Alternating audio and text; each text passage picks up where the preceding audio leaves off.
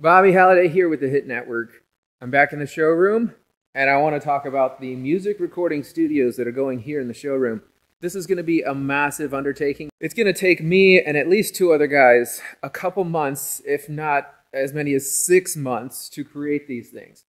We've been doing a lot of research on how to design the walls in order to keep the music inside these rooms and not flow out and into another recording studio. With a lot of research and science, we have determined that the walls are going to be about this thick, maybe a little bit more, full of a bunch of different materials, and the floor actually has to come off of this showroom floor, just raised up a little bit in order to put some other materials like insulation and sound dampening in the floor. We have to create a sound barrier between this studio and that wall uh, that's going to be pretty thick. So that closet's now in the way.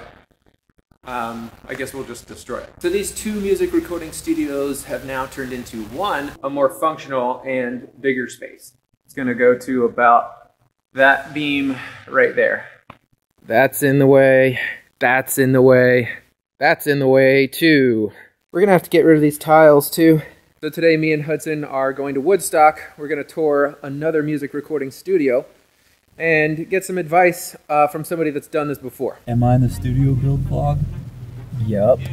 This guy knows everything there is to know about recording studios, almost to the point where he can like get overly technical with the whole thing. Good.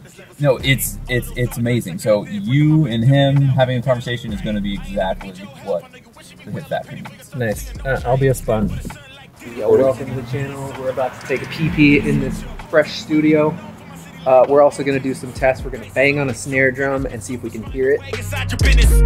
They try to dabble in it and they hate the fact that they may have to witness you trying to aim for the top like this and you're in your element with a fire like this and they hoping you fall and they praying you miss, but it's all in the risk. I got you with the switch, you know. I'm in the zone. Give me the throne. One shot, that's all that you got. That's all that I know. 155 on the road.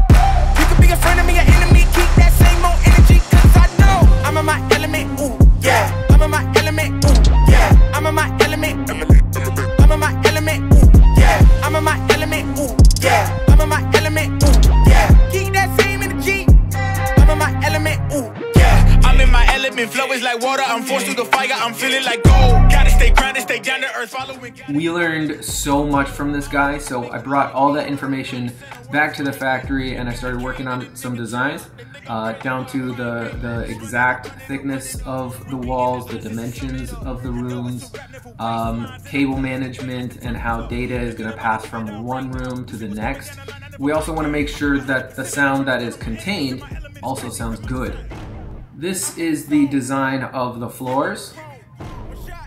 This is the design of the walls.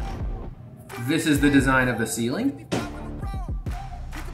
It still looks like it's going to be a super expensive project, but I'm pretty confident that if we do this right for the music recording studios, then we won't have to go all out for the podcast studios and the gaming studios that are right next door. We're going to figure out how to contain all of this loud music in the music recording studios so it won't mess with other recordings that are happening next door. It also won't disrupt the office work that is happening in the back of the building. So you'll be able to come into this music recording studio, make all the noise you want, you'll be able to beat on snare drums, play music really loud, scream at the top of your lungs, and no one's gonna hear you. I'm going into this understanding that things can change, but for now, all the dimensions and stuff have to be written down on paper and sent to an architect so that they can draw up some official plans and get those plans approved by the city. Everything still has to be done to code, even though this is super specialty stuff. And we want to do this the right way because it is very expensive, so there's a lot less room for error. In other news, I was able to change out all the light bulbs in Studio B so that it's an even color temperature.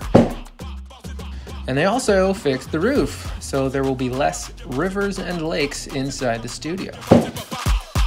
That's all I got for now, but I want to hear from you. Leave a comment, ask questions, make suggestions, and starting next month, things are going to be moving so rapidly that you will not have time to watch all the content that we're about to create.